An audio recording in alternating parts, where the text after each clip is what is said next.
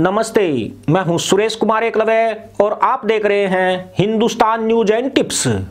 मात्र 24 घंटे के भीतर चीन को दो ऐसे झटके लगे हैं, जिनसे चीन बुरी तरह तिल मिला गया है। चीन को पहला झटका अमेरिका ने दिया है, जबकि दूसरा झटका ताइवान ने देकर चीन में अड़कंप मचा दिया है, जिसके बाद सी जिनपिंग ने पीपुल्स लिबरेशन आर्मी को अलर्ट जारी कर दिया है। पर पहले अमेरिका द्वारा चाइना पर की गई उस चोट को जान लीजिए, जिससे चीन पर बड़ा आर्थिक प्रभाव पड़ने जा रहा है। अमेरिका ने ह्यूस्टन के चीनी वाणिज्यिक दूतावास को बंद करके वहाँ मौजूद चीनियों को बहत्तर घंटे के भीतर अमेरिका छोड़ने का फरमान जारी कर दिया है। इस वाणिज्य दूतावास के बंद हो जाने से अमेरिका में चीन की व्यापारिक गतिविधियों को धक्का लगने वाला है।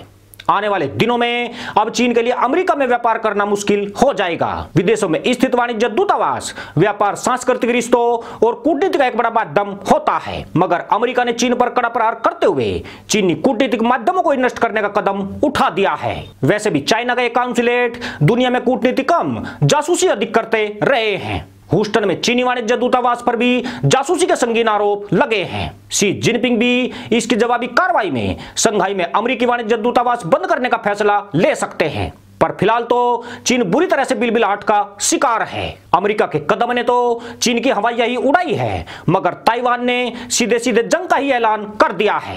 ताइवान की राष्ट्रपति साइंग वेन ने आज अपनी आर्मी को ऐसा आदेश दिया है, जिसने पीएलए में खलबली मचा दी है। साइन कहा है कि, अगर चीन का कोई भी जंगी जहाज़ या फाइटर जेट ताइवान की सीमा लांघता है तो उसे तुरंत ध्वस्त कर दिया जाए।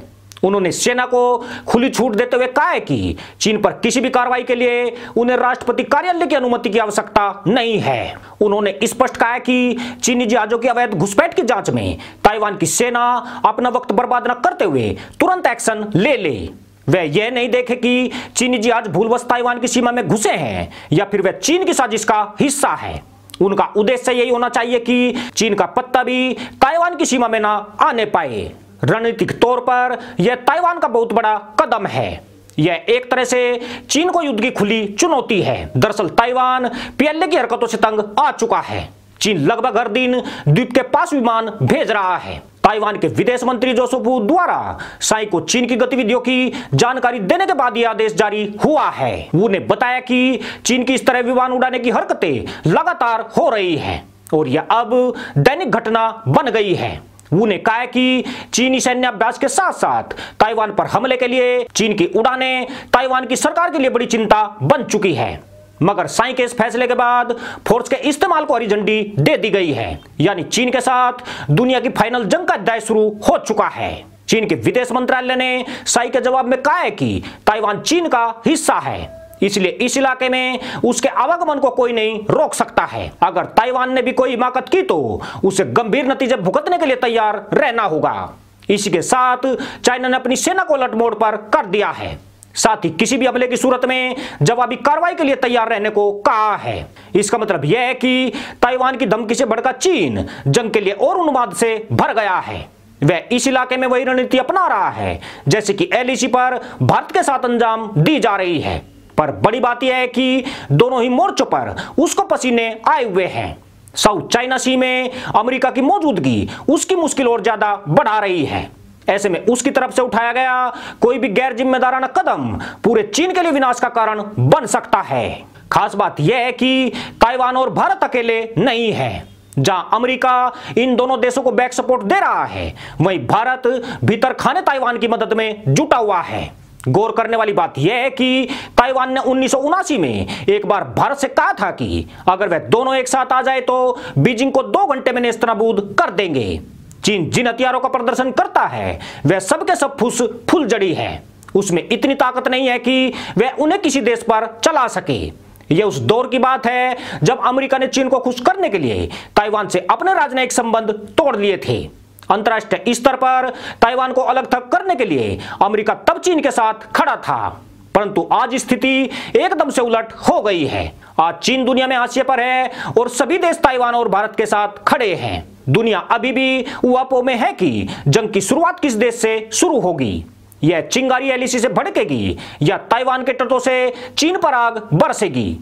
क्योंकि हालात दोनों ही मोर्चों पर गंभीर और तनावपूर्ण बने हुए हैं। चीन की एक जरा सी गलती दुनिया को विश्व युद्ध की भट्टी में झोंक सकती है। दोनों ही मोर्चों पर विध्वंसक हथियार आग उगलने के लिए तैयार हैं। अमेरिका के परमाणु हथियारों से लैस एयरक्राफ्ट कैरियर किसी भी संकट में भूमिका निभाने को खड़े हैं। अमेरिकी एयरक्राफ्ट कैरियर निबंधित अंडमान के इलाके में आ चुका है, जबकि रूजवोल्ट थियोडोर दक्षिण चीन सागर में गश्त पर मौजूद है। रणनीतिक लिहाज से निमित्त का अंडमान में होना भारत की सुरक्षा के मद्देनजर देखा जा रहा है। भारत खुफिया एजेंसियों ने जो सूचना इंटरसेप्ट की है, उसके मुताबिक चीन एलएसी पर भारत का ध्यान लगाकर इंडो पैसिफिक में अटैक को अंजाम दे सकता है। अमेरिकी निमत यह भनक लगने के बाद इस समुद्री इलाके में आया है। कहने वाले तो यह भी कहते हैं कि ताइवान और भारत एक दूसरे से हाथ मिला चुके हैं, जिसमें अमेरिका ने बड़ा रोल अदा किया है।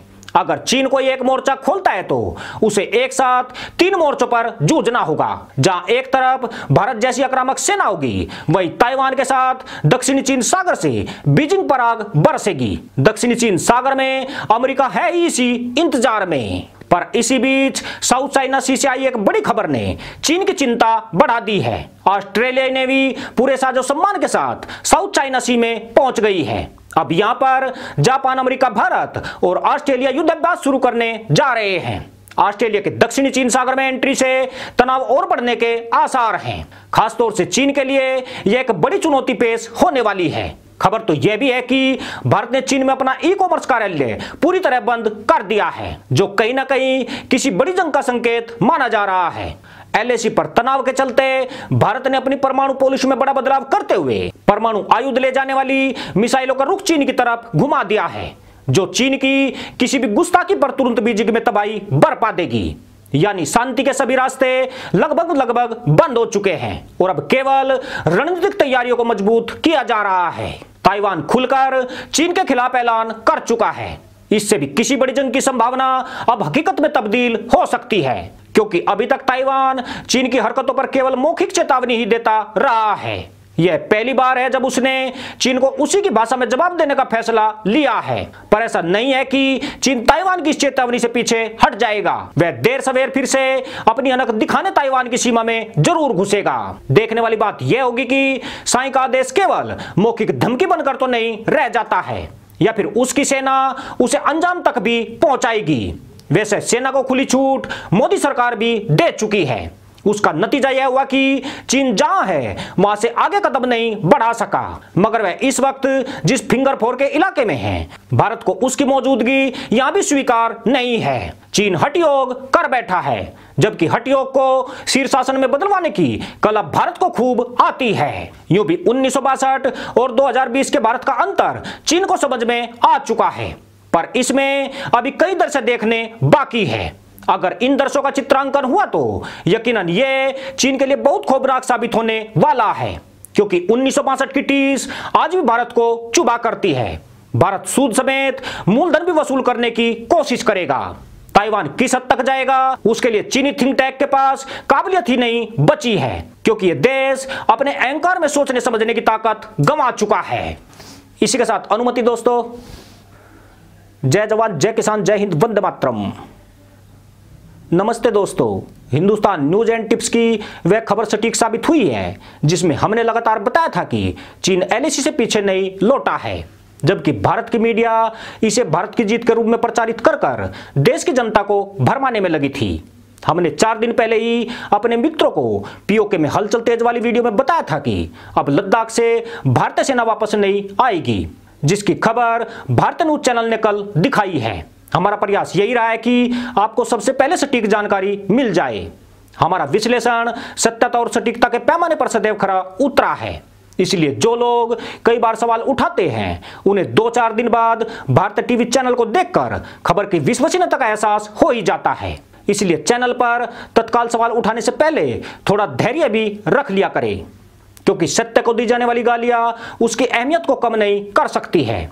सत्य थोड़ा विचलित ज़रूर हो सकता है, पर वह अपनी अहमियत खो देगा। यह बिल्कुल भी मुमकिन नहीं है।